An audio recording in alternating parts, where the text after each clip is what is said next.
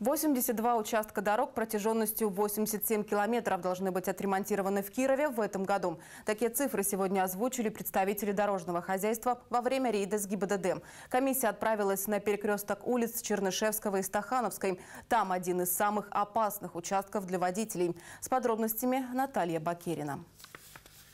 Ямы по колено. Еще немного, и на этом участке дороги можно будет только летать. Глубина этой выбоины составляет 20 составляет 28 сантиметров.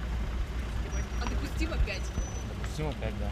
Повреждения дорожного покрытия по улице Чернышевского у нас э, составляют по ширине более 3 метров в некоторых местах, по длине более 2,5 метров и по глубине доходит даже до 26 сантиметров. То есть, что превышает, э, соответственно, нормативное требование ГОСТа э, более чем в 5 раз. На перекресток Чернышевского и Стахановской инспекторы ГИБДД приезжают не первый раз. И с каждым годом ямы все глубже, а траты на ремонт у автомобилистов больше. Машину-то ремонтировать здесь надо частенько, если здесь каждый день ездить. Колесо уже ремонтировал один раз. Не знаю, мне кажется, всегда. Сколько помню себя, вот такая дорога. Раз в неделю примерно. Вижу, как лю- мучаются водители. Сами-то как, попадали в ловушки? Тоже попадал. Насколько влетали бы по деньгам? Ну, сколько шиномонтаж? Около тысячи рублей.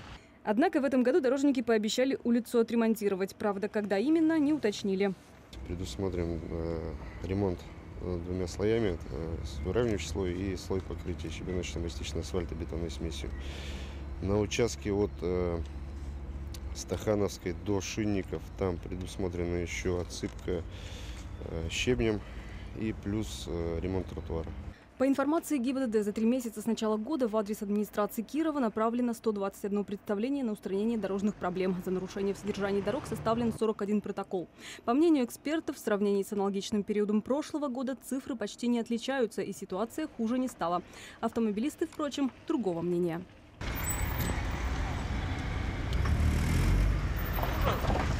Наталья Бакирина, Алексей Зырянов, Бюро новостей Давича.